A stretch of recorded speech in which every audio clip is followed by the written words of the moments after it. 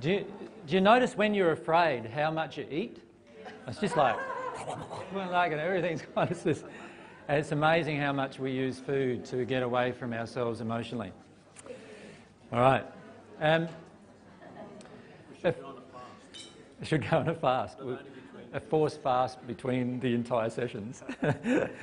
um, one thing I'd like to talk to you about is that some people had some emotional experiences during the break uh, that I'd just like to talk about a little. And that is that many of you have the emotion that you would like to get away from your own emotions. Right?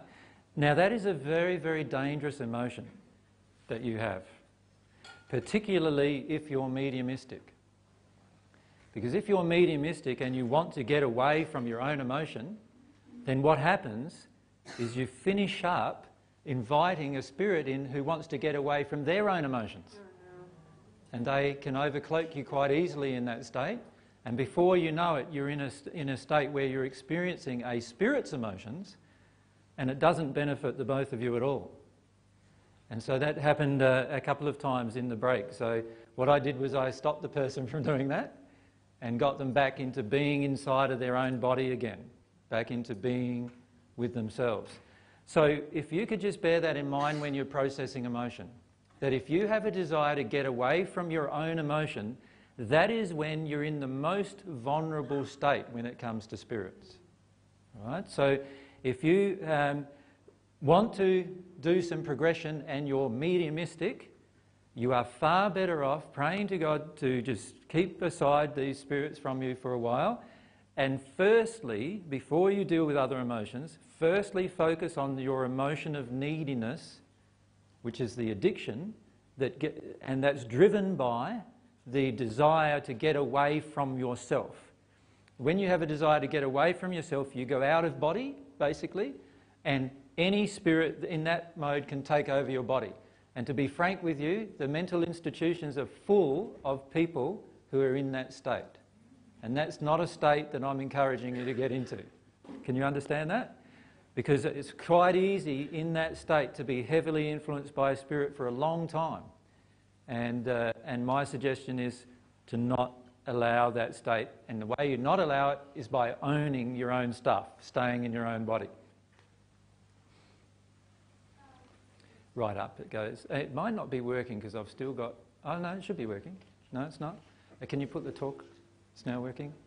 Yep. yep. There we go. Um, what if you don't know if you're mediumistic?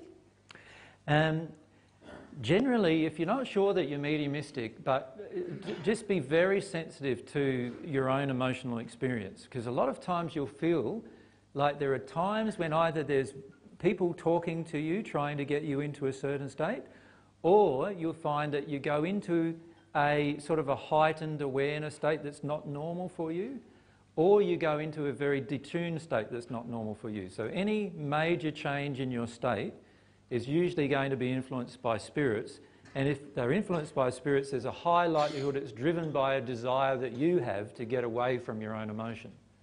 So try to focus on your own emotional state all the time. Stay in your body. You don't need to let anyone else take over your body. Stay in your body. A lot, a lot of us would like to have someone else take over our body because we don't want to have responsibility for it. Get back into your own body and stay in your own body. We have a, oh, sorry. Um, we need another person. Ken's taken Hiroko's advice. So, good on you. Um, AJ, I'm just wondering about um, when you are beyond um, knowing that you're trying to escape your own body, it's into denial, meaning you don't even know that you're denying it because you're so afraid. Yeah. And I wondered if, for example, these films would normally terrify me because I am frightened of the spirits, but they don't terrify me. Mm-hmm. So I was aware that there was tensing, but um, um, is that is that implicating that uh, there is a, a, greater fear than normal fear, if there's such a thing? The goal of this isn't to terrify you. The goal of this is to help you go through an emotional exp- fear experience and come out the other end of it. Right? So, firstly, we need to look at what the goal of this is. It's not to actually terrify you into a state where you're now living in your fear constantly. It's actually to allow yourself to actually go through the fear and into the underlying grieving that actually your fear is generally covering, right? Now, with regard to the spirit uh, attachments, those attachments are going to occur every single time you deny an emotion. So many of you today have brought along spirits who are with you because you're denying your own emotion. Does that make sense? And then some of the emotions that you have are like anger. That's a, you know, that's a capping emotion. And then some of those spirits connect to that emotion. And some of the emotions are like an angry grief, if you like, which is still not the underlying childhood experience. And so some of the spirits with you are in angry grief as well, and they connect with that emotion inside of you. The key for you to remember all the time is stay connected with your body and yourself. And if that means you have to stop emotionally processing and go for a jog, or go for a walk, or do some exercise, or do something else that reconnects you with your body, so you stay in your body when you're processing your emotion. It's pointless you getting out of your body to process an emotion because, firstly, you don't process the emotion, and then, secondly, a spirit can use your body for whatever they want to use to process your emotion, to process their emotion, and they don't finish up processing theirs either. To be frank, because it's driven by an emotion within the both of you to avoid your own emotions. And so this is why it's so important to own your own stuff all the time. Own your own stuff. Nothing that's happening around you in your life, all the events, everything, is all happening because of our emotion. We need to own that and stay in that. Now, if you're worried about being able to tell the difference, um, the key is to deal with that fear firstly. So allow yourself to feel that maybe you know, you are being overcloaked or whatever it is that that's the feeling that you have. Talk to God about it. Remember yesterday I said one of the major ways in which you can deal with all of these fears is to talk to God about the truth of them, what you really feel all the time. Stay connected with God through these processes. If you stay connected with God, you will never get into a state where you're out of what people would call out of control, where you have to be committed or something like that. Does that make sense? It's only when you get away from that connection and away from the connection with yourself, that's when you're inviting these spirits to come in and other, other people around you even to come in. Now, you can feel those needy emotions in you. Many of you can feel them. Sometimes I get people coming up to me who don't want to give me a hug, they want to get a hug. Right? you need to look at your emotions about that. Do, can you see? There's something in there for you. Why do you want to get a hug from somebody? It's because of something going on within you. Of course, I'm happy to give you a hug. I don't need a hug from you, though. Does that make sense? So allow yourself to feel why you're needy like that, because it's those needy based emotions that finish up connecting you, disconnecting you from your own self, and connecting you energetically and emotionally with everyone around you. And that's when you become heavily invested in their opinions, heavily invested in a spirit's emotion. And when that happens, that's the beginning of what you would call spirit obsession. Right? So many of you who are mediumistic, if you want to follow the divine love path, own your own emotions. Most of all, that's the most important thing for you to do.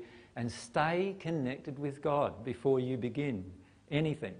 And as you're going through everything, Stay connected with yourself and with God through the process. Then you'll find it a lot easier. Mary. We might just turn down those mics just for a sec. Uh, Mary doesn't to do that. Oh, it's not those. I just want to turn down these ones here because they're ringing a bit. That's the one there. Rightio, Mary, fire away. Um, what's really confused me is that um, I was sexually abused by my neighbour when I was six. Yep. I have no memory of it, but my sister remembered it. But yep. I had dreams, had nightmares of being of vampires coming and sexually molesting me. Yep.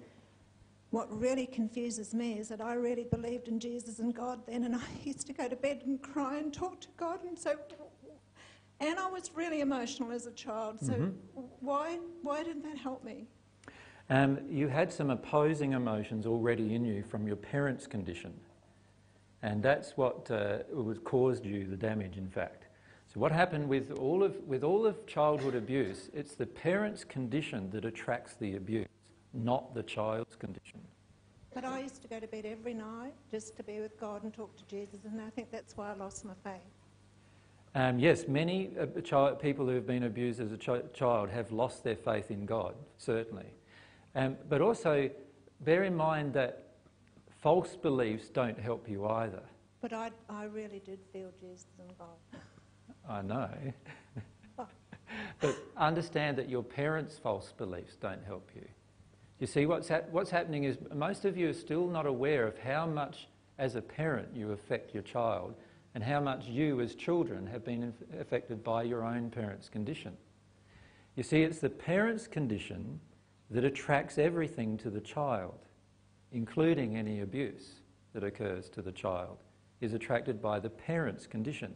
Parents' fears, parents' unhealed sexual fears and sexual responses, and so forth. And, and there's a lot of other things about fear of protection, fear of children, and, and, and I could list like hundreds of different emotions that finish up combining in the parent's condition. And it's the parent's condition that protects the child. So if a child is unprotected, it is, it is because of the parent's condition. Now, in your case, Mary, you actually were protected as well. You would just not have the memories of it yet. But the times when you were unconscious of the experience were the times when you were in the state I mentioned earlier to, what was her name? Sorry? To Vedika. Yeah. Up the back. Remember, I told that she was actually taken out of body and kept protected so she didn't have to experience the events? That actually also occurred to you. This is why other people can tell you about the events, but you can only remember perhaps even before or after, or not even remember that at this point. So the truth is, you were protected, but you need to actually work your way through the emotions that God doesn't love me, God didn't protect me. And you need to allow yourself to feel those emotions. Does that make sense? So there's no chance when you're a child because we had a big property and I was able to externalise my emotion down the beach when no one could hear me. I could scream and yell and cry. But there's no chance when you're living with parents that are so damaged. It's very hard when you're living with parents that are damaged because all they're doing is reinfecting the emotion you're releasing. So every day you release something, the parents the next day reinfect you with the same thing. Do you know what I mean? Like they treat you badly, they punish you, they maybe corporal punish you and all those kind of things. So you release something one day and express the emotion, and the very next day they do exactly the same thing that made you sad the previous day. And so it's very, very difficult. And this is part of the multi generational uh, problems that we, we face on the planet. And this is why one generation has to make the change. Because if this generation, our generation, does not make the change, the next generation now is faced with the same issues and the same problems because of what's going on in terms of soul damage. So the issue always gets back to the fact that if the parents are completely owning their own emotions, then the child is fully protected in that place. But that is rarely, if ever, happening on the planet. And you, you can feel even in yourselves at times when I say that, how much resistance there is inside of you to that truth. There is so much resistance inside of us as parents about owning the damage that we have done to our own children. Right? To actually own it emotionally, own the causes of it, I mean. Not, not to take the blame in the sense of the effects, I'm saying own the cause. The cause of my, like my sons have both had to work through huge amounts of emotions about their relationships with women. They both go down the track of choosing women who who are princess type women and then pleasing them as much as they possibly can to their own detriment. Who created that? I did. I created that. I need to own that. And the way I own that is not just by saying the words, the way I own that is I go back and feel my causal emotion as to why I did that inside of me. Does that make sense to everyone? Feel that emotion focus on that emotion inside of me. I, I, can take responsibility for that emotion that's inside of me. Now, as I'm doing that, what's happening with my boys is that they are automatically now working their way through those emotions because dad has already done that in his own life and is already working through those emotions in his own life. And every change I make in that area affects them. So I need to own the fact that I created this with my own children. One generation has to do that. But all of us need to understand that we are not to blame for most of the emotional injuries inside of us. We are only responsible for the releasing of them. Right? So I am not to blame for the emotional injuries inside of myself. I am only responsible for releasing them. Only I have control over who releases my own emotions. I am the only person who can release the emotions now that they've entered me. And this is one of the sad, sad results of mankind walking away from God. Because if we never walked away from God, we wouldn't even have these emotions in us to deal with. Right? And you will see in a few generations' time, even in maybe one or two generations' time, the effects of people living in divine truth and what it has on their children. And you'll just you would look back at this generation that we're living in now and say, wow, wasn't that a bad dream? Mm. Right? Look at this terrible place where we've been in and look at what was possible all that time. And yet we just didn't know because we just carried this multi-generational, multi-generational abuse multi-generational abuse, and away we went and carried it down generation, generation and generation. But what you state, Mary, is very true. As a child, it is very difficult to protect yourself against anything unless you're really connected with God. And even then, you're going to get generational abuse from your parents because they're going to keep doing the same thing until they change. And many of you feel that that is very unfair. And that's the emotion you need to release. Does that make sense? Let go of the fact that it's so unfair. Allow yourself to feel that. Yell at God, firstly, you might need to, about how unfair this system is. And then go into that emotion and release the emotion. You'll come out of it understanding the benefits of it and the truth of it, and also, in fact, the love in it, because there is actually love in the, what, everything that God has created, but only when you've dealt with that emotion. If that makes sense to everyone. And microphone down there, thanks. AJ, with the breathing Mm-hmm. with your feet diaphragmatically, what you were talking about before, Mhm. do you just need to do that and then you'll drop into something else? Is that all you need to do? Just breathe? A lot of the times, that's all I've ever needed to do to get into my emotion, just to breathe. But you have to breathe fully into your diaphragm to make that happen. And that's why you're doing that really gets things going and open up inside of you. Now, after a while, you don't need to do that so much because you're so connected emotionally, you're like a child. So you imagine a child running around, trips over, starts crying straight away, doesn't it? It's not like oh, looking around firstly to see whether anybody's there and then cries. or, do you know what I mean? Like, because that, that would be a needy projection, you know, and then, or, or it's not like it falls over and cries and then looks around and somebody, somebody isn't there and then they cry because they, you know, they're scared of being seen to cry. That's another projection. Normally, the child will just go and fall over, cry. That's what you'll be like in the end. You won't need to breathe to get in contact with it. You won't need to do all these other things to get in contact with it. But what we're doing, and this is something to, that's very important to understand, what you're doing is you're breaking through all of these walls and barriers that have been piled on you for years and years and years. These are multi-generational walls and barriers that have come down through the generations. If you look at it in the Padgett messages, we, we called it in the Padgett messages multi-generational sin or multi-generational missing the mark. The, the, the sins of the parents being visited upon the son. This is what that means. It doesn't mean that you have to pay for their, their faults in the sense of a physical effect way. What it means is their emotions inside of them, unhealed, got transmitted into you, and now you're paying for their decision to uh, not heal their own emotion. Right? So let's make the decision to heal our own. But to do that, we're going to have to work through some of this injustice feeling that we have. Why do we have to do it? Why couldn't have they done it? You know, all those kind of emotions. Why did God make it this way? And all of those kind of things. Now, when you come through those emotions and out of them, you'll realise why God made it this way. And, and in fact, rather than me telling you, I'd love you to go through some of those realizations because when you do, they're so powerful realizations that you start understanding God so much in the process of realizing why God made it the way she made it. Better let yourself just feel and experience the emotion. I just wanted to add that I, I don't actually think breathing is the only thing you have to do. No. You have to be in a state of willingness to experience your emotion, then you can breathe into the emotion. But Yeah. f- personally, for myself, getting to the point of willingness to experience all of my emotion, is the hardest thing. it's the hardest thing, and I need to do a lot more than breathe. yeah. Yeah. You're looking so beautiful today. Sorry about that, but uh, just had to say that, I just felt that. Um, the, uh, the thing that Mary brings up is a very important point because remember yesterday I said that one of the biggest blockages is this feeling that we have that we're not going to be able to cope, right? That we won't be able to deal with these emotions. You see, that creates an unwillingness within us to deal with them.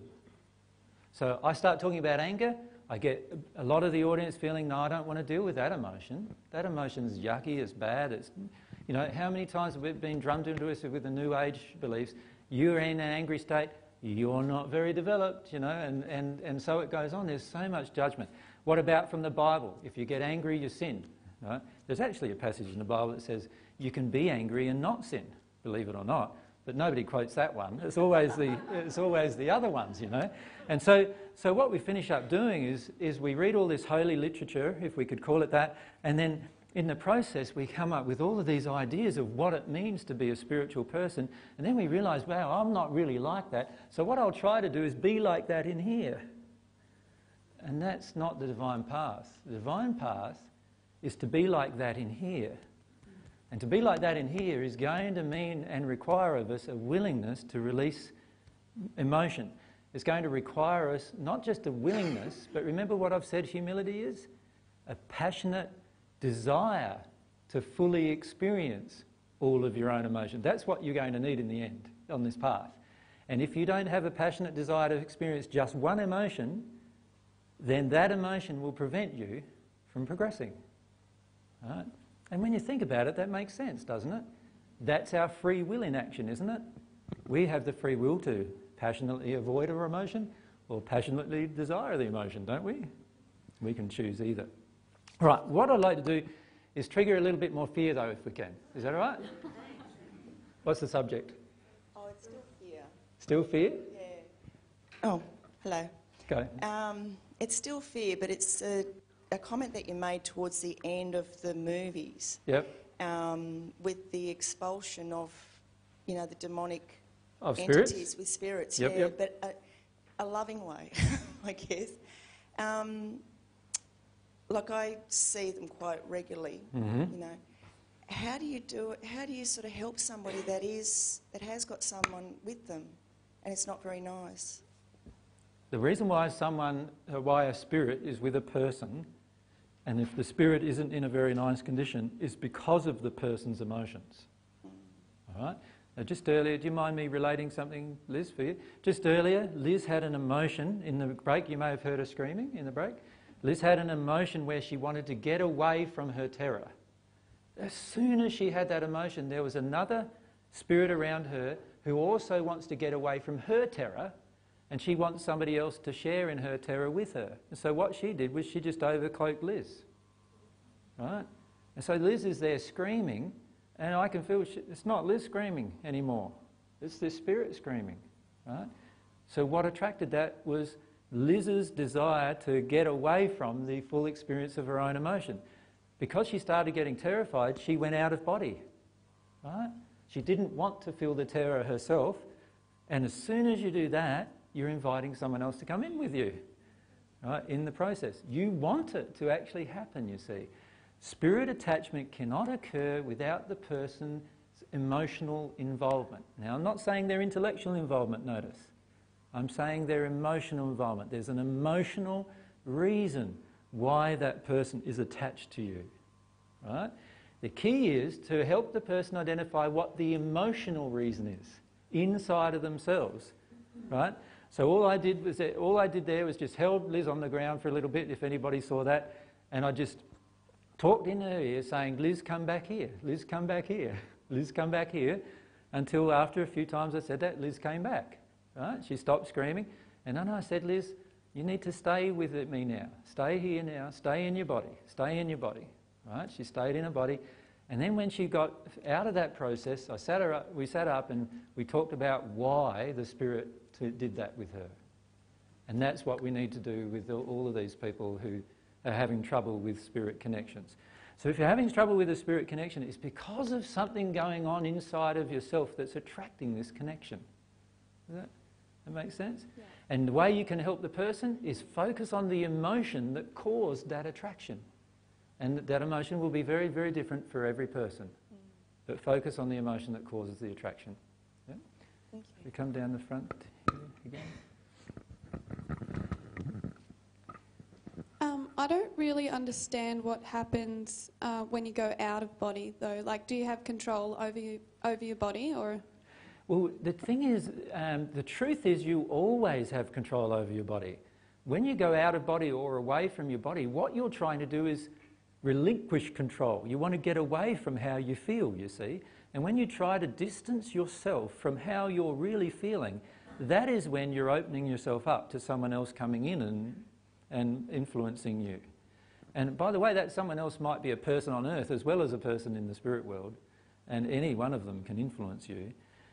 As while you're not connected with yourself, that other people can in- influence you. The truth is, not a single person on this planet can, can manipulate you or control you unless you have an emotion that allows it. So you need to look at the emotion that allows it.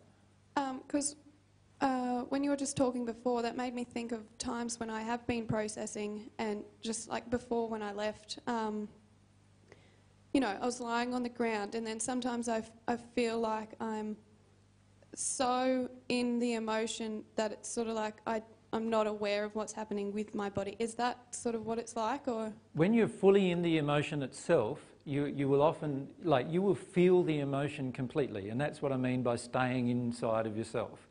It's when you feel a distance between what's going on outside of yourself, and so, so Liz was feeling a bit of distance between this physical expression, what was going on, and actually her own feelings, right? There was a bit of distance happening between there, which is a good indication as well.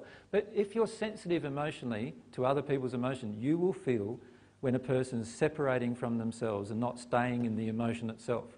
You will also feel when the person is going into anger but using tears as a method to do that. Because there's plenty of times when we do what I would classify as angry crying, which is actually not getting at a causal emotion at all. And so what we need to do is look at the issues of why. Remember, it's our blockages to emotion that cause us to step away. In your case, because you're doing pretty good with your emotions, what's happening is you're staying in your emotional experience. You're fully experiencing your emotional experience. In that place, you're not necessarily conscious of your body or not conscious of your body because you're fully in the emotional experience itself. And that's a different place than what I'm trying to describe with regard to a spirit. Yeah, that's good. All right, thank you. Um, if we go up the back there, is there a mic oh. going? Oh, sorry, there's a mic here, sorry. Um, yeah, I just wanted you to clarify what you said earlier on about in the next month to six weeks doing fears if we don't um, do our fears or if we don't want to, that some unfortunate things or bad things will come into our life. I just didn't quite. Well, I hope I didn't say it like that. No, uh, that's not what I meant. Not yours. uh, what I meant was that if you lived in your fears, like I'm not suggesting for the next six weeks you live in your fears, because if you live in your fears, you will certainly attract negative events into your life during the next six weeks if that's what you choose to do. What I'm suggesting is instead of living in your fears, I'm saying experience emotionally the fear and release it from you. And that doesn't need to have to be a long period of time. In fact, it, with one of these fears, you, you might work them through it in an hour or two hours if you fully commit to feeling the fear itself, right? The problem is most of the time we don't fully commit to feeling the fear and instead we live in it. And certainly the danger of living in your fears is you start attracting what those fears are quite rapidly. And this is why a lot of New Age beliefs have don't you ever think about what you're afraid of. You think about all these positive things instead, right? That's why those New Age, that's how they came about. Because people often, when they start connecting with their fears, don't experience them and release them. What they do instead is they live in them, which causes more of that attraction. And so I'm just providing you a warning. If you don't decide to fully experience your fears If, if you're setting yourself, if you want to deal with your fears and you decide to fully experience your fears, everything's going to be fine. But if you want to deal with your fears, you think, and then you live in the, the actual fear itself without releasing it, you're not going to be fine. That's what I'm saying to you. So, so just, it's just a warning to you. That's Yep. the law of attraction at work, if you like. Thank you. Does that make sense? There's no threat involved here of, oh, you don't do it, then you're going to be in trouble. None of that. It's up to you. Yeah, it's not. It's up to you what you choose to do.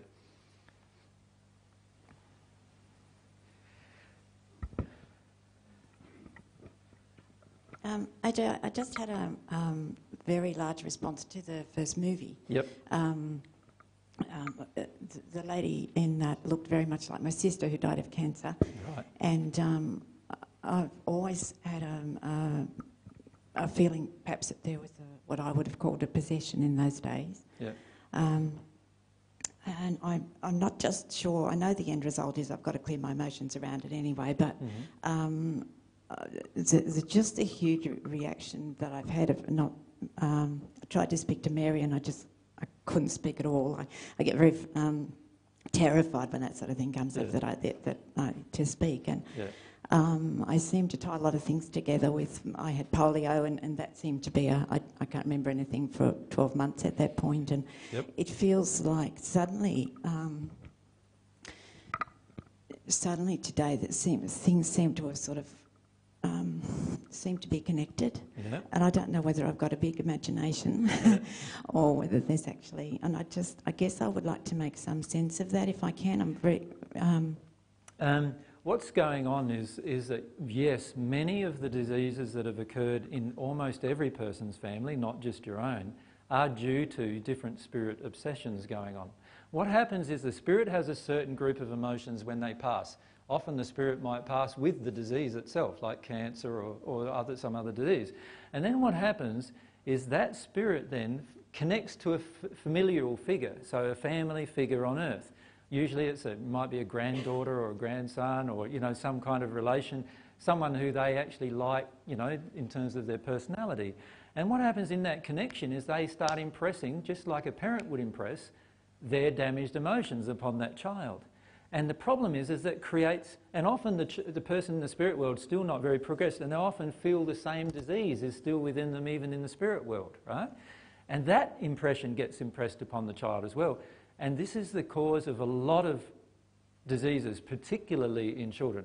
And polio is certainly a, a, a, one, of those, uh, one of those diseases that, uh, and I don't know if you'd really call it a disease, but it's one of those uh, illnesses that actually are caused by a, a lot of spirit interaction, along with many other childhood cancers, uh, child onset diabetes, and lots of other different emotions.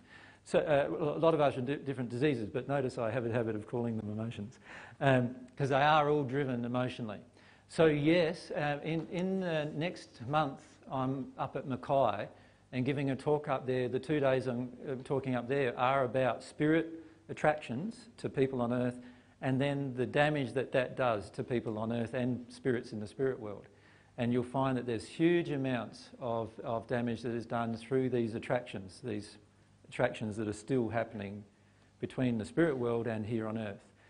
And when you talk to many mediums, you find the level of those um, attractions, because many of the mediums have often had to deal with those particular illnesses, and they, and they get told through their spirit friends that, oh, this is actually about a, an attraction to a certain spirit. Can I just ask the difference because I saw many similar behaviours with my sister to what the uh, the Amelia, yeah, Yep. And also I mean, dreams where I was made to eat spiders and all sorts of Yep. things. I guess beyond the disease as such, Yes. beyond just the sickness, it felt like very much a mental. Yes, most um, of the spirits well. who are in this condition are in very poor condition. They are full of unhealed emotions. Many of them are in what you would classify on earth here as a psychotic sort of a state, even in the spirit world, in the darker areas of the spirit world. And then when they connect to a person through the emotional connection, then you see huge connections. Mary's just reading a book at the moment, which I've suggested uh, quite a number of times for people to read. It's called 30 Years Among the Dead by Dr. Carl Wickland. If you I want to know about spirit possession and spirit obsession and how much it actually influences almost all illnesses and diseases there are on earth, that is an excellent book to read. It's, a, it's about a doctor who was in the 20s and 30s uh, who worked with his wife who was a very good trance medium. And what he did was he documented time after time after time after time all these different illnesses that he cured by actually dealing with spirit obsession. And, uh, and it's a very, very well written book with lots of case studies of each situation in it, and it's really worth the read. It's on the uh, CD, uh, um, and it's also downloadable on the Divine Truth website. if people can't find it, I could email it to them. And Peter's happy to email it to you if, if you can't find it as well. I've left a copy with him. So, right, let's get on to the next subject, shall we? A lot of you have been asking me about this subject of earth changes, and you think what, what I'm going to do is give you all of these heads up about earth changes, don't you? Yeah. I'm not going to give you any heads up about earth changes. What I'm going to do is help you address some of your fears about earth changes. And that's a different thing altogether, right? All right. Now, what we're going to do is just uh, perhaps read a few little things that we've got printed out. On this little session, we'll do a little bit of channeling about earth changes if we can manage that. And um, we'll also talk to you about some of the earth changes, and then we'll show you some movie about it. All right? Now, to me, in my mind, the best movie about this subject is going to be 2012, which is coming out, I think, November the 13th. So my suggestion is go and have a see of it. I'm one of their greatest advertising fans, I think. It's a good movie, and uh, that, as far as I can see, and uh, many of the events portrayed in it are actually going to be quite realistic in the future. So it's a lot of uh, channeled or semi-channeled material that's been presented in book form and then and then written for a movie, and of course there's some embellishments and so forth. Now this is one of Mary's uh, most uh, unsavoury subjects, I suppose you'd call it, so she doesn't want to be involved in this. Um, one of the reasons why is because in the past, every time, I've got something on my teeth now, every time um, I've spoken about um, earth changes with groups of people, it's greatly polarised people's emotions. And often afterwards, what's happened is I've had lots of people very angry with me. And of course, when you get angry with me, I can feel those projections. So I've had to work my way through those kind of things. And Mary's very frightened of uh, people getting angry with me because last time that happened, uh, not very nice things happened to me, and therefore not very good things happened to her life either. So, so um, that's one of the issues that Mary's having to work through about this subject. I uh, feel quite good about dealing with this subject with everyone. But I want to talk about a few emotions about this subject that you have. I'd like to firstly talk about the ostrich emotion. Is that how do you spell that? Is that right, ostrich? Something like that. Yeah, you know the motion that's bury your head in the sand and hope it all goes away type of motion. Now, many people in the past have got quite angry and upset with me about this subject, and then they've done that. Now, you're, you're totally able to do anything you want, of course right? That's your emotions and you're, you're, you're having your free will, that's your experience. So you're allowed to choose to bury your head in the sand if that's what you want. I am not, I'm going to keep talking about it, right? Because they are, earth changes are coming. Now, as to when they come, well, obviously that will depend on a lot of factors. Some of it is soul condition factors, and some of it is actually physical factors that are to, to do with alignment of the, with the sun and, and the earth in the galaxy and quite a number of other issues. Now, you can read about all of them on the internet, so I'm not really interested in talking about all of them. Um, they don't interest me very much at all. All that interests me is you helping, helping you with your soul condition about this issue. Does that make sense? Because, to be frank with you, I would love for the majority of you to survive it.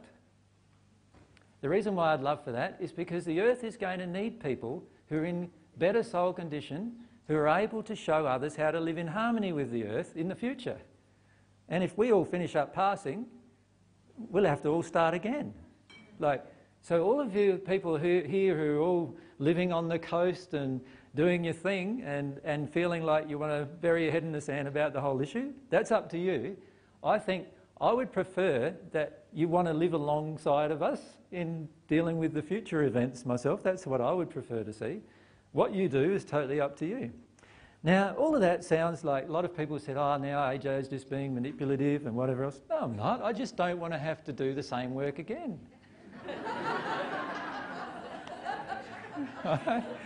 like, honestly, like, and can you imagine the environment? Like, instead of having this beautiful, pristine hall to do it in, we'd have to do it out in the sticks somewhere where there's probably for some time not being any power generation, and we'll have to get together a heap of solar panels or whatever else just to get an amplifier to speak to a group of people.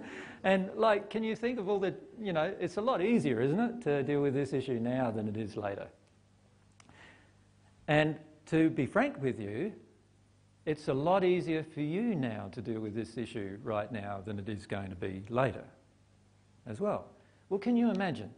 Earth change events occur. Let's just put a bit of a scenario to you. By the way, I'm not trying, I'm not going to talk about specifics so much, but I'm going to give you some details of what may occur here, for example. You imagine for a moment here that firstly there's an earthquake around nine on the Richter scale, which is a massive, massive earthquake. Imagine that all the way along this coast. Right? So you've got all these earthquake events happening.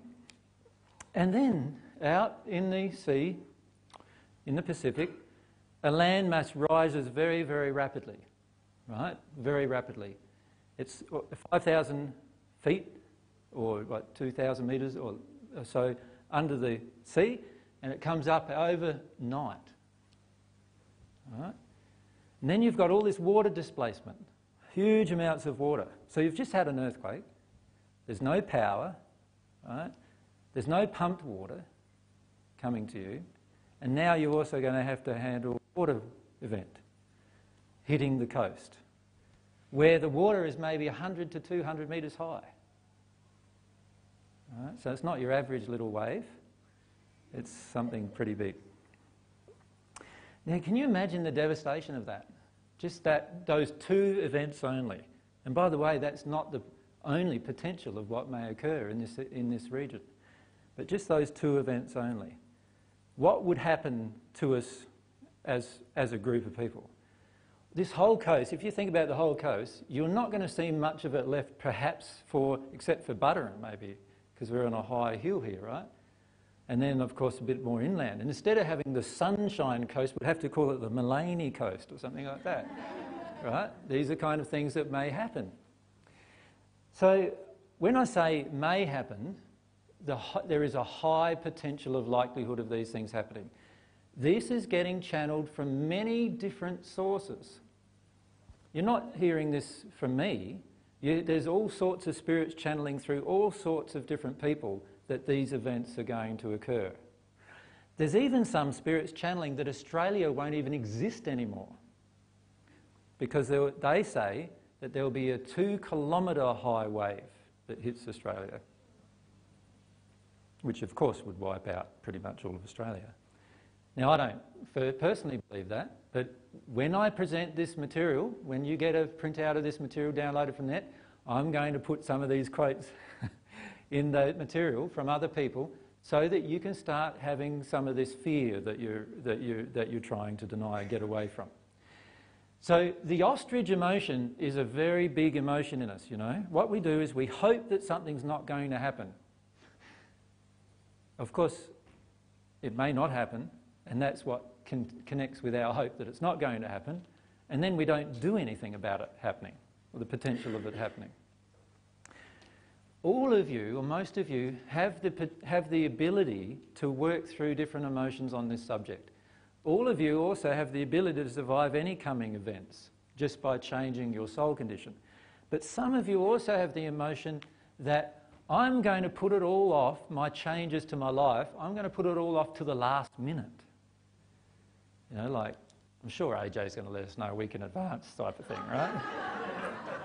and it's not going to work like that, you know. There's going to be a series of events that occur over a long period of time. When I say a long period, maybe even two or three years of time, a series of events. And, and, you know, at the beginning of those events, we might be having a chat, but do you think there's going to be Earth satellite stations for us to continue having those chats? And do you think I'm going to have the fuel to get to the coast anymore? Probably not. Do you know what I mean? And unless I can teleport, there's no other way probably to get here easily. So we can't have those discussions after that point. So you, you won't know unless you keep yourself informed and you develop your own relationship with God and your own relationship with your spirit friends, then you'll know. So can you see there's a lot of things involved in this particular subject? My feelings are, if you want to bury your head in the sand, you're, to- you're totally able to. I am not, this is not a fear discussion for me. Now, while I recognise that for many of you it might be a fear discussion, um, to be frank with you, that's your problem. Right? In the sense that it's your fear. And you need to let yourself work through that fear. And I'm not trying to scare you here. What I'm trying, oh, am I trying to scare you? No, I'm not trying to scare you here. What I'm trying to do is ask you some questions about love of yourself. Now, how is love of yourself involved in an earth change discussion? Well, isn't it quite obvious, really? If I loved myself and I knew from all these different sources that there's going to be some earth based events that are going to affect my life, and I have a roundabout time frame that they're going to happen any time between now and you know maybe 2016 or something over the next so let's say five, six, seven, eight years or whatever, and I know they're going to occur then. If I loved myself, wouldn't I just make preparations for that? That's not a fear-based discussion, isn't it? That is a love-based discussion. And if I loved other people, would I rely on them to make the preparations for me? Of course I wouldn't, would I? So, you know, it's lovely that ones like Peter and, and where is Graham and, and who are the others who have paid for the property out at Brad, Brad and, and some of the others who have paid for the sanctuary. It's lovely they've done that. And it's also lovely that they've said to you that you can go out there anytime you want. That's lovely too. Um, and, but, but at the end of the day, if I don't provide for myself, am I being loving to Peter and to and to Graham and Jen and Brad and these other ones who have paid for that property. Does that make sense? Am I being loving to them? If I'm expecting them to be the people that do everything and I do nothing, but then I expect at the end of the day, if I want somewhere to run to, I go there. Now, that doesn't seem very fair to me, does it? Does it seem fair to you? Like, does it seem loving to you? That's the way it is at the moment. So, so we need to look at that, right? We need to look at our own emotions in that. Now, also, we need to look at our law of attraction. There's been some things suggested about being able to do, like some, I've heard back from some people that some people seem to think that I know everything. What? When have I said to you I ever know everything? When have I said that? Haven't I said there's only one being in the universe that knows everything? Who's that? And if you connect with God, then you'll get to know as eventually, the more you connect with God, the more you'll get to know. Right? Isn't that right? All right, so you relying on me to know more than you know is ludicrous. Whether I do or not know more than you know, it's still ludicrous to rely on me with it. Can you see that? So stop relying on me with these things. Stop relying on other people to do things for you and start preparing for what you personally believe is going to occur. Now, if you don't personally believe it's going to occur, then don't prepare. You don't have to. I'm not going to stop you coming from groups, groups anymore to learn about divine truth just because you never prepared for earth change events. Do you know what I mean? Like, it's not an important issue to me. I want to survive them because I want to stay here and teach some more. That's my desire. What's yours? Is yours the same desire? Or some of you I know don't have the desire. Some of you have the desire to pass. I've heard you say it. I've heard you say, if I've got to go and change my life that much, I'd rather pass. I've heard some of you say that. Now that sounds a bit suicidal to me, but anyway, that seems to be an unloving emotion, don't you think? And, and some of you have said also, I don't want to do it until right near when I have to. Well, you know, while that sounds all logical, it doesn't seem like a very loving thing to other people or to yourself. Like to run around at the last minute in a panic. What if you get it wrong? You have to use a mic, Pete. And yeah, what if you get it wrong? What if you get the timing wrong? Or whatever. And then I've heard a lot of people say, oh, it doesn't really matter to me much, this issue. And I'm going, what? How can it not matter to you? Don't you want to teach others divine truth that you're learning? Like, we've talked about so much, all of the different opportunities we're going to have here on the earth compared to being in the spirit world of learning more divine truth, right? And also teaching and helping others. Like, oh, what about all these spirits who are in dark places? Do you think there's going to be less of them after this event? No, you know, you know, what if like some spirits have estimated up to 54% of the Earth's population is going to pass. Right? That's been some of the spirits' estimations. Now, by the way, there's survivalists who are receiving other spirits' information who say 95% of the Earth's population is going to pass. Now, I don't agree with that, but that's what they say. But let's say we go for conservative estimates from spirits that different spirits have given 54%. That's one heck of a lot of people. That's three and a half billion people who are passing in their current condition without a knowledge of divine truth, without a knowledge of divine love, many of them on natural love paths, firmly ingrained in natural love paths. Like, how much help are they going to need? Lots of help. Now, you imagine the spirit world's been preparing for this for years, right?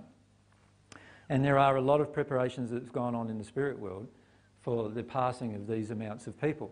But there is so much we can do, particularly if we develop ourselves emotionally. And there's so much we can do in leading, in also becoming a person who leads other people into this new place. And that's not going to be a position of power, by the way. That's going to be a place of service.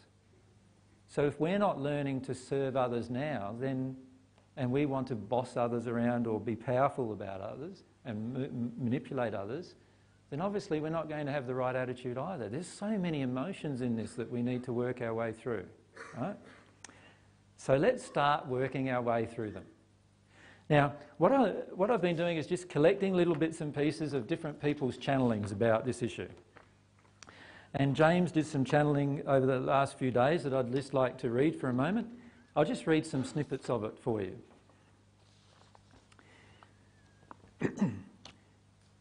the feelings of fear are the ones that demand your attention at this time. These have been dominating your functioning for some time and are arising for attention. Many things have happened which have triggered your fears. The coming earth changes are causing fear in you, although you feel that they are not bothering you as much as they are. You have felt within you an urge to move away from the city for many years and have done nothing about this, and now fear that you have lost valuable time. You also now fear that you don't have the money to allow you to move in the way that you desire. Feel these fears and allow them to pass through you, as while they persist, they will drive your behaviour. Earth changes will occur and have the potential to be very severe indeed. Many people will pass over and the face of the earth will change considerably. Because these changes can be so massive, people are resisting acknowledging that this is a reality for them. Many feel that they don't want change of this magnitude and resist even the thought of it. If you ignore something, then it will go away. As you have said amongst yourselves, the best one person can do is deal with their own feelings and persist in the divine love pathway. You must pay heed to your own desires, as there is error persisting with you in your present state of living, that if that is not what you truly desire. I just want to comment about that. Many of you have had for many years a knowing within yourself that there is this earth change stuff happening, coming up, haven't you? What have you done about it personally? Now, some of you, 25 years ago, moved up to the hills, and then 20 years later you thought, hasn't come yet, let's move down to the beach, you know, like. And so some of you have even done that, right? But you're not actually listening to your own hearts, right, on this subject. Now, Many of you have known for many years in the sleep state, in, this, in your sleep state, obviously you leave your body and you're, and you're in the spirit world in your sleep state, and many of you have known for many years that these things are happening and even the intensity of what, what's going to occur. And yet, we choose often to still live our life the same way as we've always lived it. Now, does that make much sense to you if you look, about, look on that? You have had, like, I'm not talking about my desires here. I'm saying I can feel in you your desire to listen to these things, right? You have had a desire. Before you met me, many of you knew about this earth change stuff, right? I had nothing to do with that. You knew this before you even met me. Some of you muscle tested it, some of you had mediumship with it, some of you did all sorts of things, but you found out, and even through your own feelings, found out things. Is that not correct? Right. So why are you doing something about it? There's got to be an emotion. Can you see that? What's the emotion? We've got to face those emotions. What is the emotion stopping me from acting upon my own desire? Right? So what's the emotion? What kind of emotion? One emotion might be this one. The changes are going to be so big that I don't know if I want to live after them. That could be one of the emotions, couldn't it? That we need to face. Another emotion could be the changes are going to be so big that I'm going to be uncomfortable. well, yes, of course you're going to be uncomfortable if you don't make any preparations. Like, do you think you're going to have a dunny to sit on if you don't make a dunny to sit on for the earth change events, right? Of course not. So you're going to be uncomfortable and you're going to have to squat if that's what happens you, then you survive, right? And don't you come going to my house hoping to use my toilet. I'll say, I'll say, I told you, you remember back, what's the date today?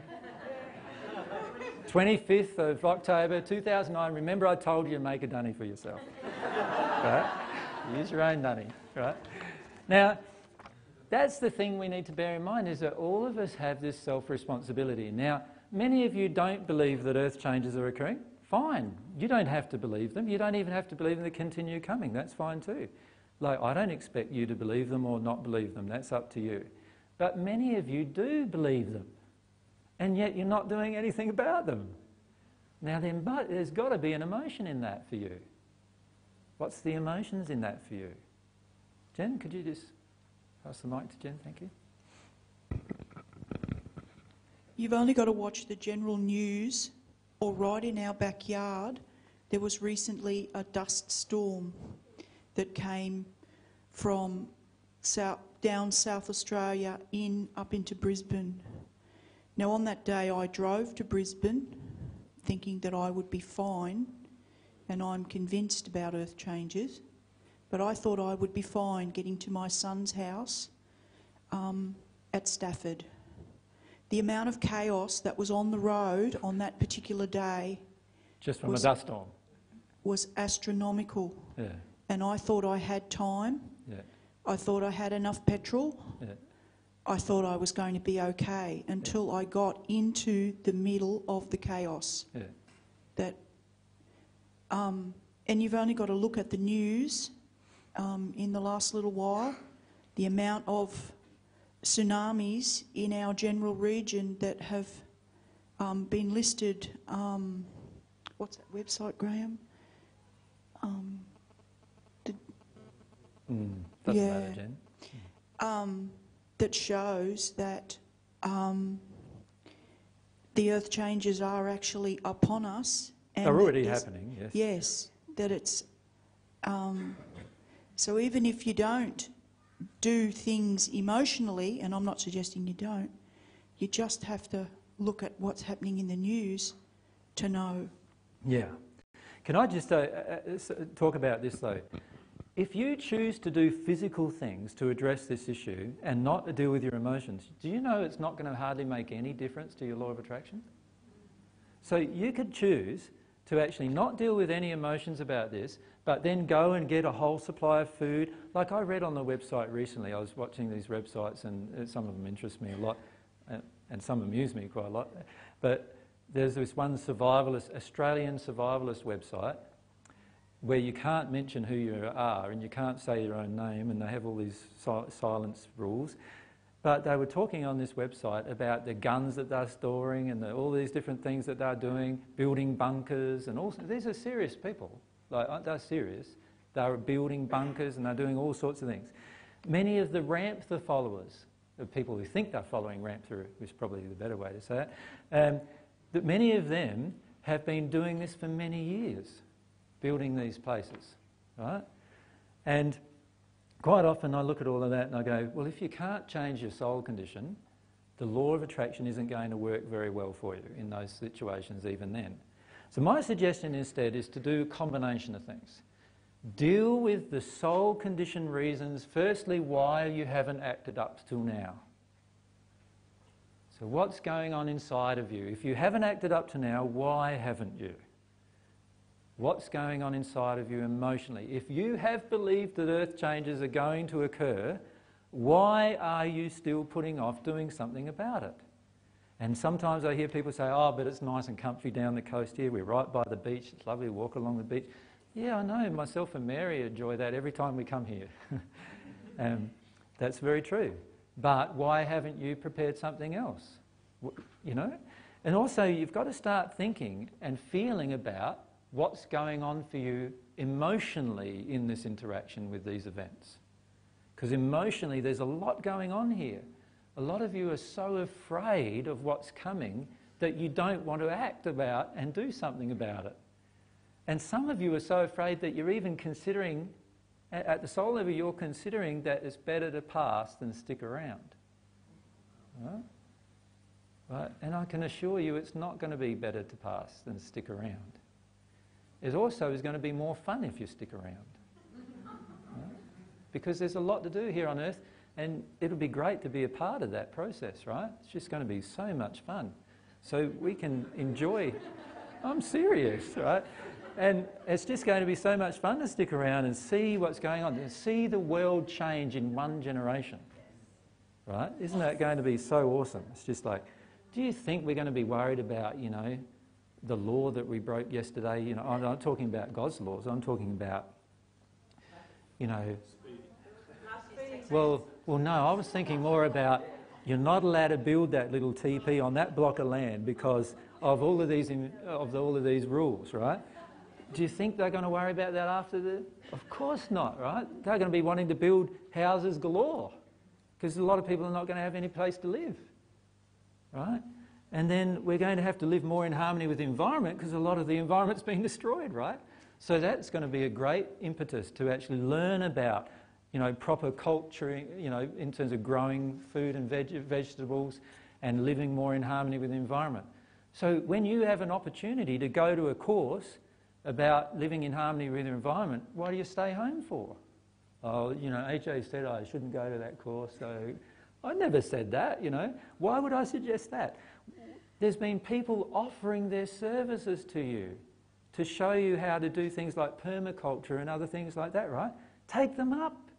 It doesn't matter where they're from. You might be able to talk to them about the divine love path. They talk to you about what they feel. It doesn't really matter what the outcome is, but you'll learn something in the process of how to look after yourself. Why would you not? Why would you put that off? Do you see what I'm saying? Often we're putting all of these things off because we're just quite afraid, and that's the issue we face.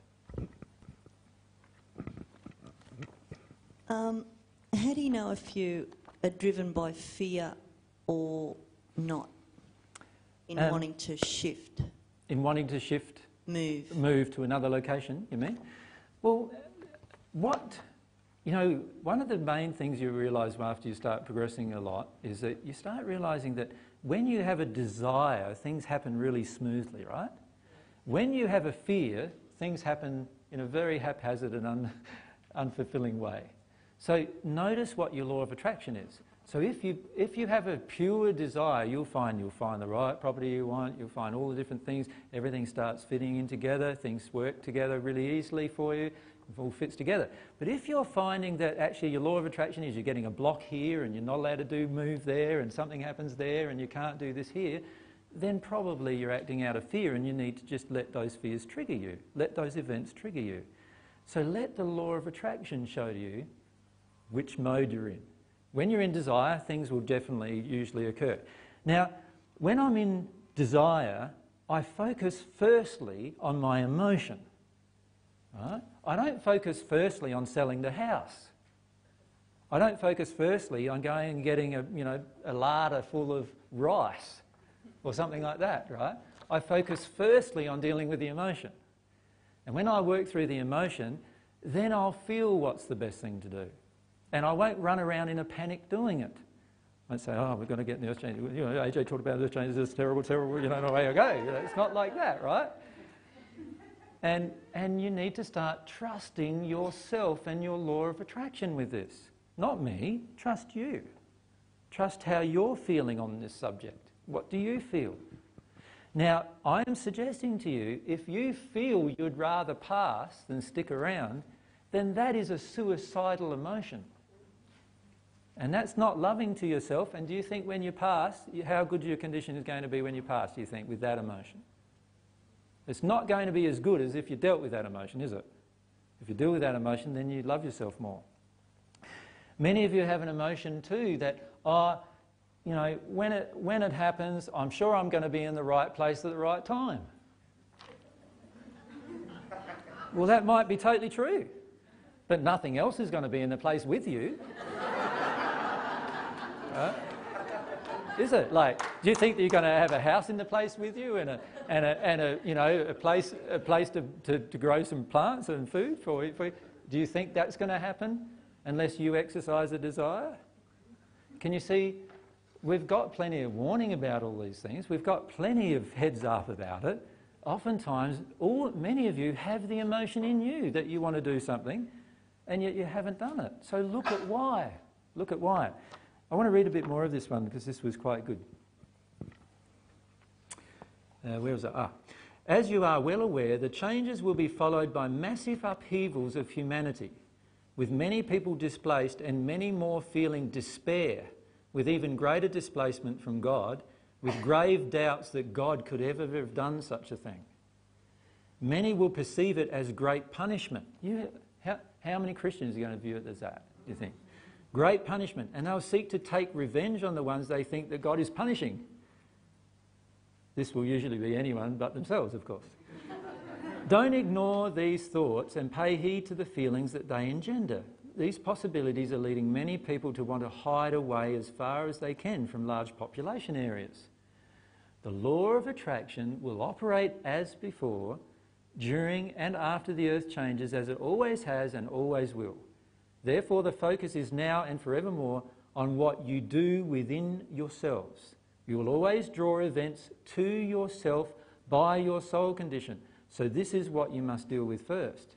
The vital first step is to acknowledge that you do have a soul and then that this soul is limited by many factors. Those steps you have taken and the consequent steps are those of prayer and dealing with the feelings. Now, uh, James also asked what extent would be Australia be affected by the changes. The answer he gave, the Spirit gave, which by the way was Stephen from the Bible. You remember Stephen, who called the first martyr, for those of you who have uh, background. Every continent will be affected, and Australia will be less so than that of any other. Even though you hear and read of the possible changes, you really have no concept of the magnitude of the changes or of their impact on humanity. Changes like this have occurred before, but there has never been the numbers of people living in vulnerable locations. The sinking of Atlantis is possibly the largest event of this type that is acknowledged in your histories.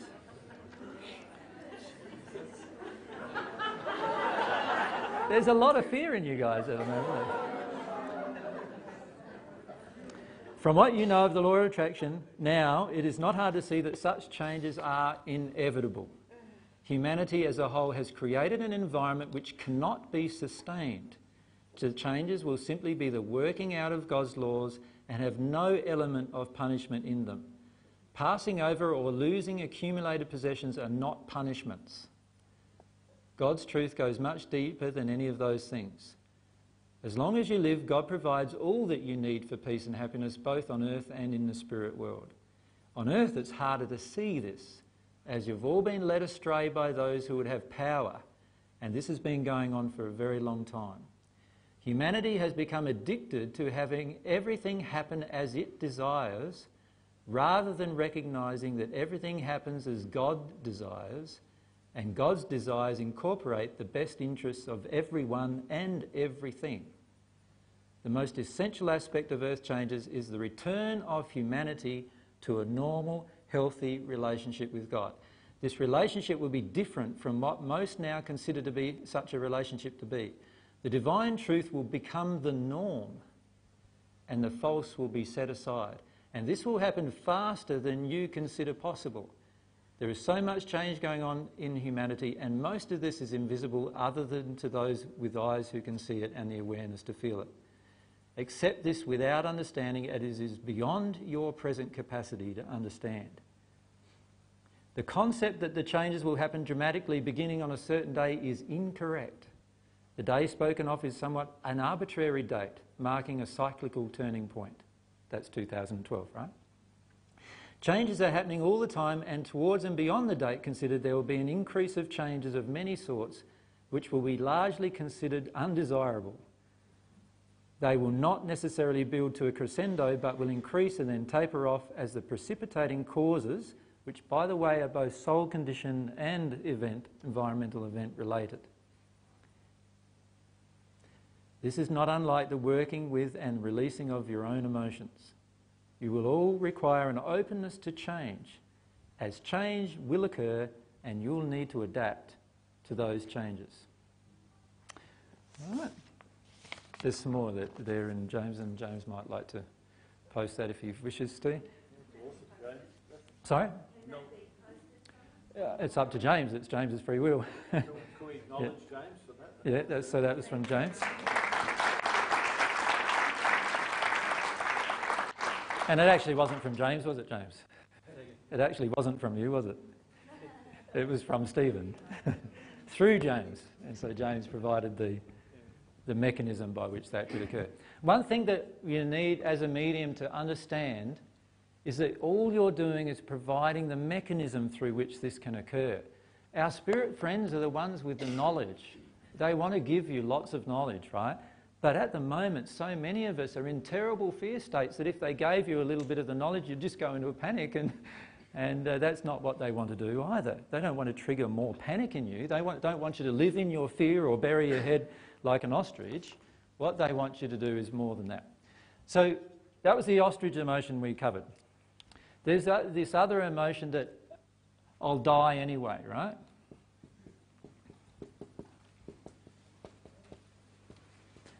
And, and sometimes in there is the word, I want to die anyway. Now, honestly, many of us have these emotions of wanting to die at different times in our life. The key is to acknowledge them and to work our way through them. You don't need to pass. Passing is not going to necessarily be the benefit that you think it's going to be, even when you pass.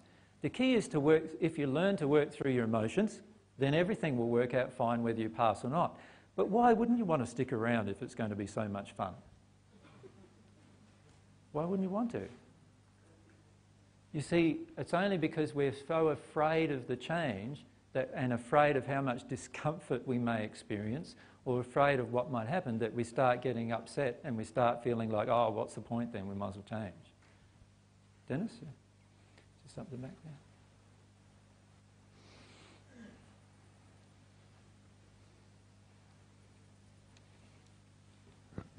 Hey, Joe, I'm pretty sure you once said that um, the collective fear will actually make the changes worse.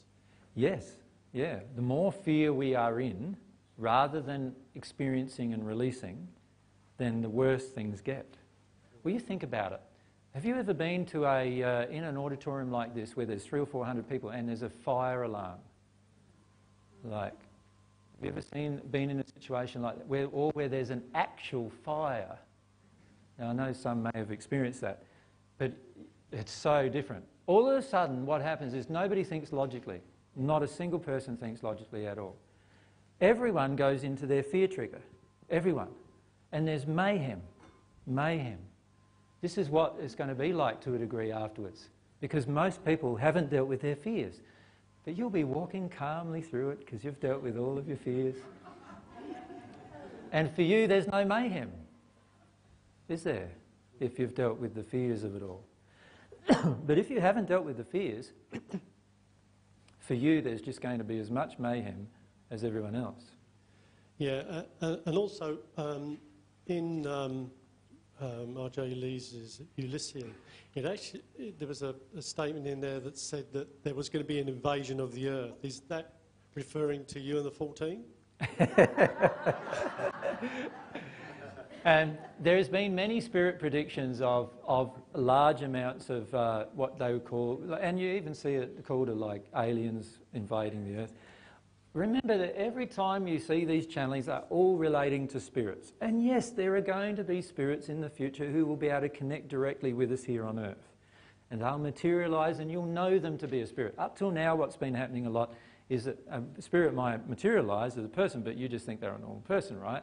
And so you don't notice it. But in the future, we'll be able to have face to face conversations with many of our spirit friends that you're already having face to face conversations with, by the way, when you're in your sleep state, right? So, so you have face-to-face conversations with them now in your awake state. That will all be able to happen after these events occur. Beforehand, can you imagine what it would do if that all started happening? Like, most people wouldn't be dealing with their lack of faith and other issues. They wouldn't be connecting with God. They'd be connecting with spirits. They'd think these people are, are a super race or something like that. And some of them would try to experiment on them, and all sorts of things would be happening, right? And obviously, the earth has to change in its condition before a, a, better way of communicating with our spirit friends can occur. And yes, there are a lot of predictions that have come based around the fact that there will be 14 returning to earth. But to be frank with you, like, we're, we're only here for the same reason you're here. What's that? Because we love you, right? And you're here because you love somebody too, don't, isn't that right? And, uh, and if you develop your love, what will happen is all of us will be able to teach what we want to teach to have the changes occur. And, and all we're hoping to be able to achieve ourselves, and particularly myself at the moment, is to be able to help you on that process, that's all. So there's nothing special in that. Right? But I want to work, move a bit forward through this, uh, because what, uh, you're okay with doing a bit of channeling on the subject, Monica? We'll see how we go? Okay. So Monica's going to risk doing some channeling again in front of you on this subject of earth changes. I'll just grab a mic for you. Oh, it's going to be terrible. you know it's going to be terrible. Is this one working?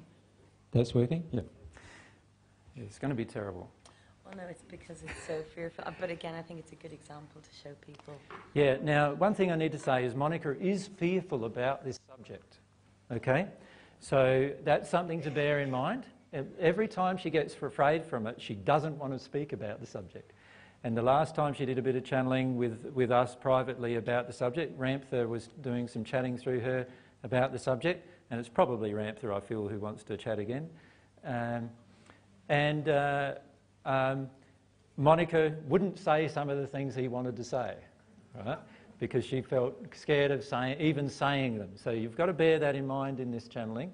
So this is a live channeling, and Monica's again doing it just like she was yesterday to help her through some of her own fears. So that's awesome, my sister. Okay, thank you.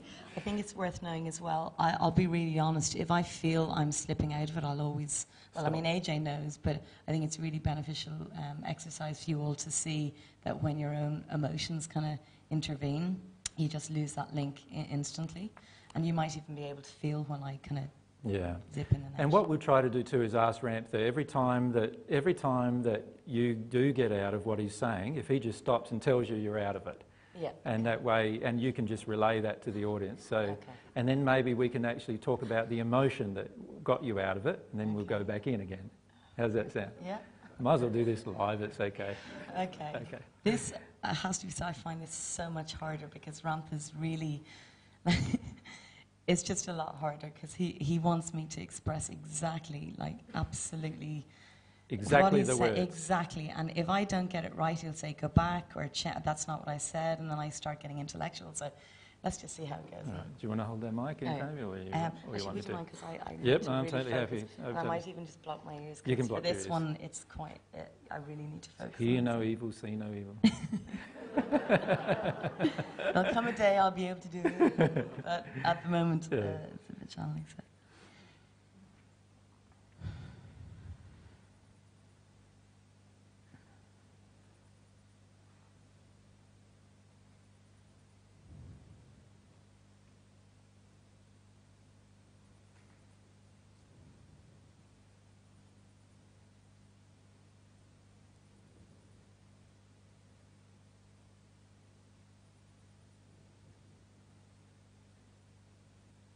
I'm blocked. Okay. What's it about? Um, What does Ramtha say it's about? I immediately, he started announcing himself as Ramtha Orion. Yeah. And I'm, I, as soon as he says that, I almost go into doubt as to whether or not, So why was that? why am I doubting it? Yeah, yeah. Because all he's doing is presenting himself as himself and his soulmate. Yeah. Yeah. So Ramtha is now uh, in the celestial spheres, and he now presents himself as himself and his soulmate. Does that make sense? Because they're both together, whereas before it, it was more sort of one side of that. But but that's triggered Monica already. Great start, hey? yeah, yeah, that's good. That's good. So what's that about? Is that about the Um, female? You're not recognising the female um, side there, or No, because I've actually started connecting with her. It's that whole detail thing. It's the whole. you're um, afraid of getting the afraid of getting wrong? the details wrong and being humiliated because someone you know, Alright. can then verify and go, that's not what we read No, somewhere. no worries. Well, I'm going to try to humiliate you as much as possible then. Uh, it's a fear, so allow yourself to feel the fear.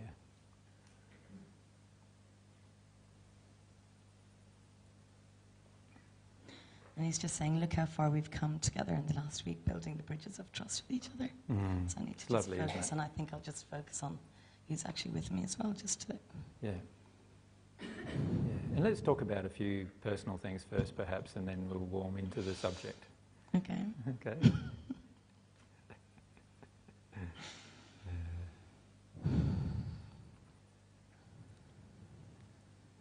Our sister's made a lot of progression, huh, Ramtha? Yes, indeed, brother. it has been quite an emotional roller coaster for her this week. Yes, yeah. But her levels of gratitude have increased most dramatically. Yeah. She's starting Um, to trust men again, huh? Yes, I think this is the most beautiful part so far. Yeah. And she has moments where she wants to get very angry with me, but Yeah. now it doesn't take much time for her to realize that I love her very much and that uh, it is all a good thing for her, Yeah. much to her disdain. Yeah, even when you present the pictures that you present. Sometimes. Yes, although that she's getting quite used to now, she quite enjoys that because she's finding a higher level of gratification with the releasing that she's able to achieve. Yeah, yeah. A lot of people on earth don't understand how powerful it is to release with the help of a spirit who's really helping them. No, there, there is much um, disillusionment about the way, uh, the ways of the spirit world Mm. and how our interactions actually are. Mm. Um, I'm just slightly slipping. Mm. Yes, there is much fear around our. Uh, no, sorry, guys, just give me a second. Mhm. He's just saying, just hear my words, relax. That's all right. All you've got to do is repeat him. Yeah. So there's nothing of you involved in this. You don't need to worry about, because in the end, it's if you repeat exactly the words you're given, then there's nothing of you in the process, really. I am here, brother. Yes. It's just taking some time for her to adjust this to Yeah. this uh, procedure. Yeah. And the, and the pressures are a bit more greater than usual. Just a little, but she's quite excited by this process also, it has to be said. Yeah. yeah. Yes. Although there are still massive fears that she needs to work through, but I'm happy with her progress. We've worked really well together this week. Yeah, she's beginning to fully understand at an emotional level now. Yeah, that's good, isn't it? Yes. Yeah. So, what is it you'd like to talk about with the audience that's here?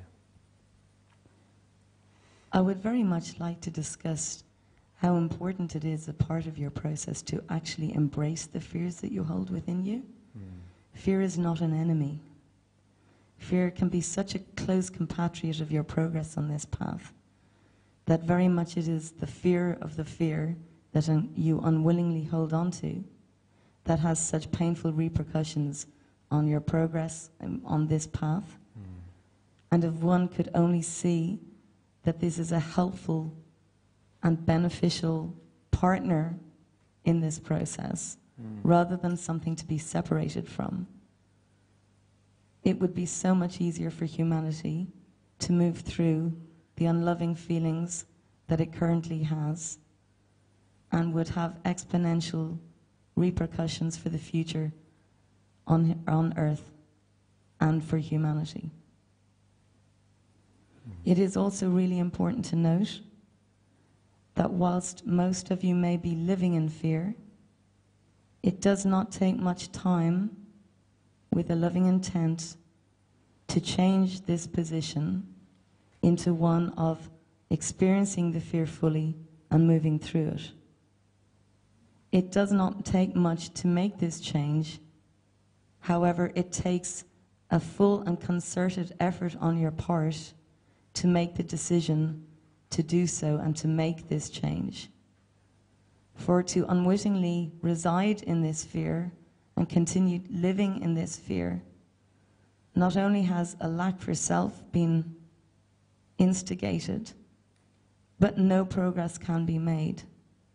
There is a grand difference between living in fear and feeling it and fully expressing it to a point of release and peace. This can be done on a gradual basis and does not seem to, it does not need to seem so overwhelming. One can make a change in small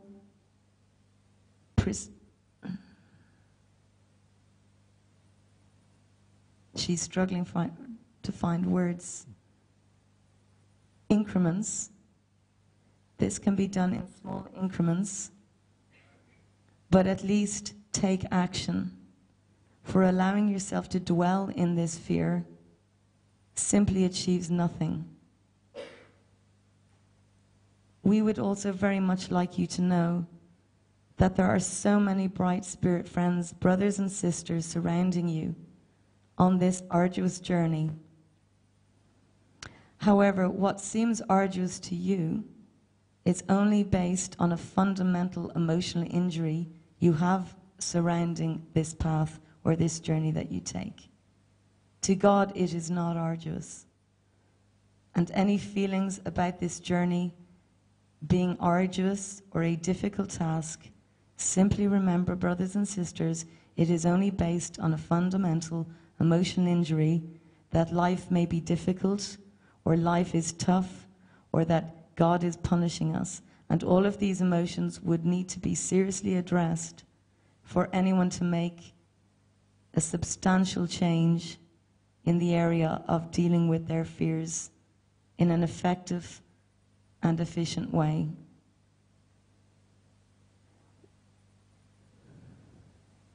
I also feel it is very important at this time for you all to be aware of the possibilities with earth changes.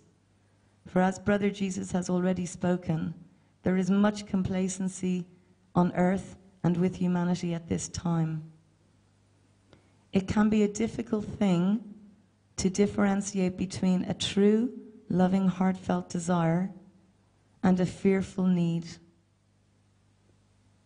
If there is doubt around this matter, simply allow yourself feel what your body reacts to when you have a certain thought or emotion about a, a, a certain desire and allow your body respond to you in this way and it will lead you to realize what is a truthful desire which in truth is a loving expression of the soul, or one that calibrates in a fearful way by causing a negative reaction on your body. These may be symptoms, as discussed earlier on by Brother Jesus palpitations, sweats, heart racing, a change in breathing pattern. Allow your body to guide you not only in this process with desire and need, but with every emotion that you may fully experience. Your body is one of the greatest gifts that God could possibly bestow upon you. And indeed, your body is very much your friend in this matter. You humans tend to distinguish or make a differentiation between the body and the soul it is really important to remember that the body is merely an outwardly expression of your soul's contents and current condition. Again, it is important to be aware that if one could embrace the body as one does emotions and the soul, you might get along a little bit better. And much progress could be made, far more than you can possibly imagine in this respect. What is important for you all to do as a race is to begin to return to God's natural rhythms and flows that she originally created for you. A close, a close connection between the body and soul is one of these. The earth changes will be a trigger for many of you, and what might be recommended by myself, by all my brothers and sisters who know in greater detail, which at some point in the future we will instigate with Brother Jesus a, a talk specifically on.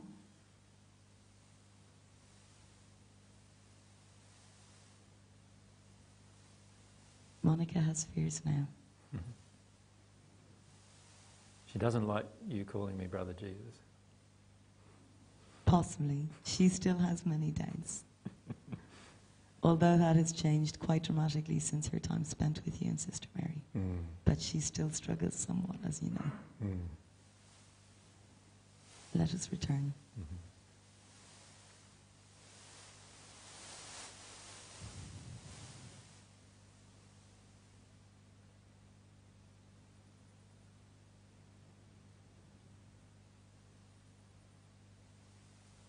We were talking about bodies, and she has issues in this department also. Of course. As you mentioned to her before. When we were alone. Yeah. Yes. She is sticking quite profusely.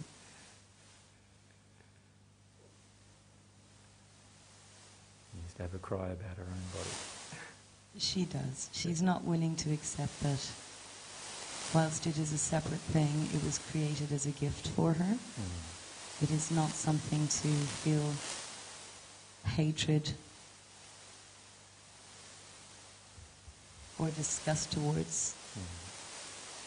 She has much to release around this, and there will come a time where feelings that she has, specifically surrounding sexual abuse as a child,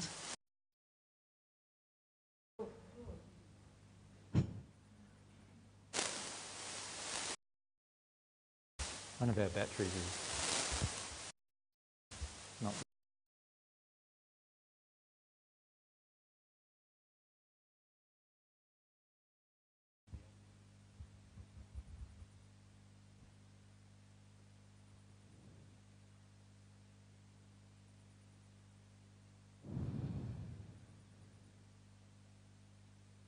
Maybe if we perhaps change the subject, we may be able to flow, for there is much to discuss. she would like that. there is much for her to, to feel around this in truth. She will gradually begin to understand that this is a gift that was created specifically for her. Yes. There is not another one of these in existence that is exactly the same as the one that was created for God. For Monica. Yeah, it's lovely, Monica.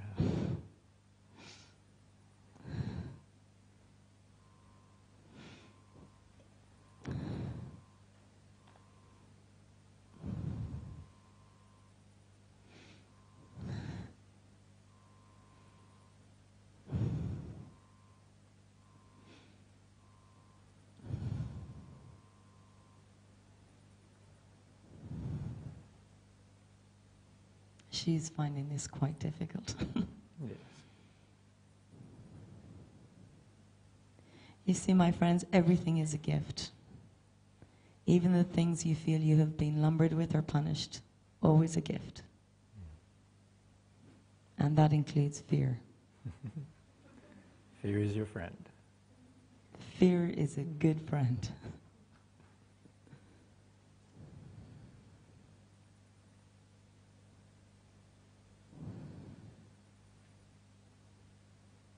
Where were we? We were talking about bodies, I think. Yes, I think that subject was the trigger. That was. you were mentioning about the earth changes um, and how they affect us? Yes, I recall.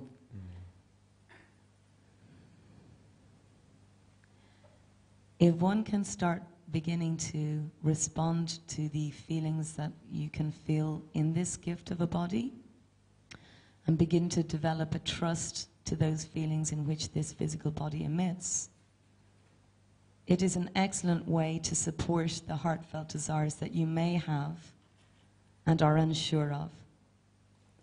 So, for example, if you have had a heartfelt desire to live in a certain location,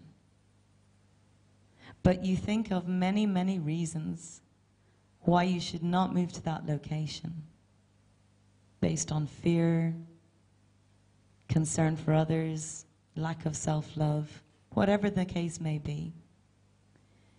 If you take time out and be still, simply focus on one of the thoughts or emotions about the desire and listen to what your body tells you. In the same way that listening to your body and how it responds to, to fear is essentially a way of connecting deeper to your emotions. For as I have already said, your body is simply a reflection of your soul condition, which in turn are your emotions. Do you begin to see how important the link between the two really is? It is so common on earth for those of you who are intellectual at heart, which in itself is ironic, if you can begin to realize that your heart is actually the intelligence that should be driving your day to day functioning, your life categorically would change in the most pleasurable of ways. And most of you would not be so hesitant in this respect. So, one tiny, simple thing that you can take home from this time, and I have waited so long again to talk to a group, much to Monica's dismay. if you take one simple step home with you, along with Brother Jesus' truths also, but a simple and effective way to change in a way that will feel comfortable for you, possibly is to start align, aligning your emotions and the link between your bodily responses. It can be such an incredibly powerful tool to allow you not only make decisions that are a heartfelt desire based decision and not one based on need or fear, but also can take you to a far deeper level of emotional releasing that you can possibly imagine. Hmm. Hmm. Are there any questions, brother, you would like to ask?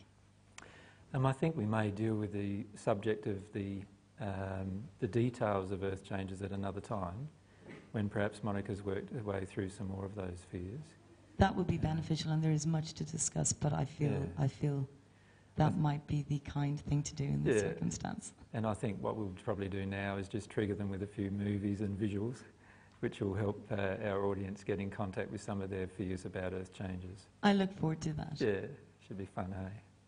I am so appreciative of having the opportunity to speak in this way and to speak with truth.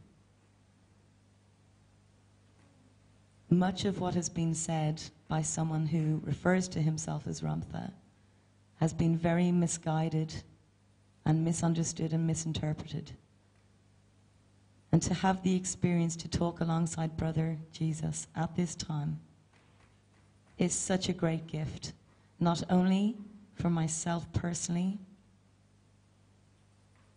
my soul union mate, Orion, all my other celestial brothers and sisters who love you all so dearly.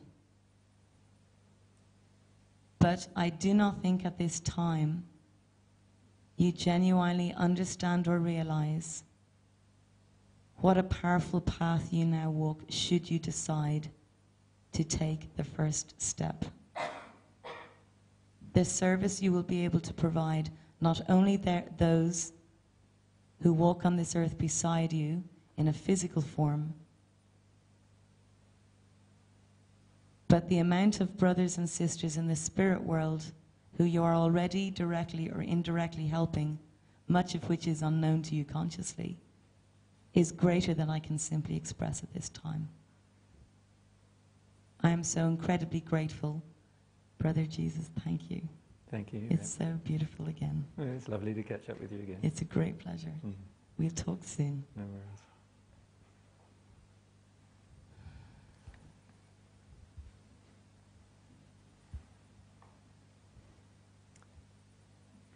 So what- what we wanted to do there is just, I don't know, you can express how you feel.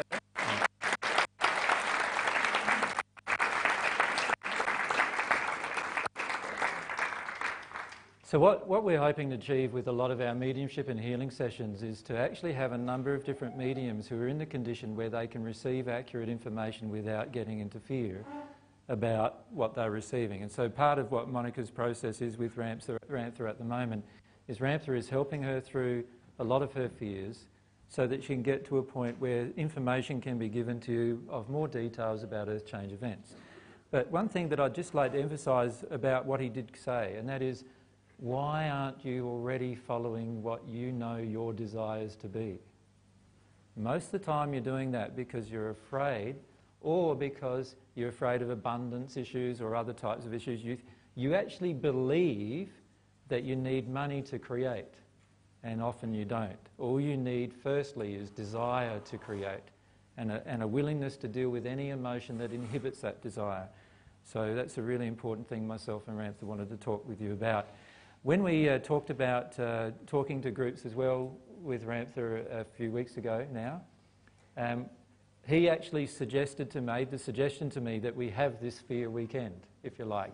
I modified it a touch and we worked together on the details basically. But, but basically, he uh, recommended that we start really looking at the fears um, that each of us have. And then I thought if we did a presentation on the Saturday where we, we look at the fears and practical ways of doing it, dealing with it, and then on the Sunday actually started triggering some of those fears, that at least we would get closer to getting through this layer of fear that we have and down into the deeper emotions. So that's really good. Now, and then as uh, we deal with those fears, this information that Ramtha has, and also, by the way, many of our other celestial friends have, can be more clearly given to you and in more specific details to assist you in the path. But many of you need to firstly learn to trust your own desires. Many of you firstly need to learn what your feelings are about these issues first. Then trusting a channeling, trust yourself first about, those issues. Now I'm running out of battery too, so might just, uh, that usually means I've talked too much, doesn't it? no, my battery's doing okay. Um, so if you can, uh, um, if you can remember that with regard to these details. Now what I'd like to do, it's getting fairly late now I think. What is it? Any who want to leave, just feel free to leave. Um, we might just have a quick showing though of some earth change type events just to leave you with something to be triggered with on your way home. How's that? Thank, Thank, you very much, Monica.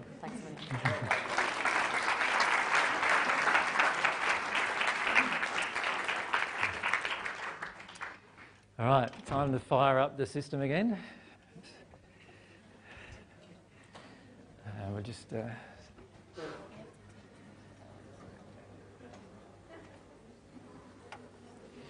got that off, and what's this way out there for? Oops.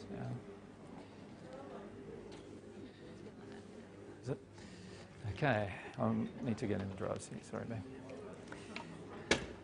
We might get the, if you can turn the lights off.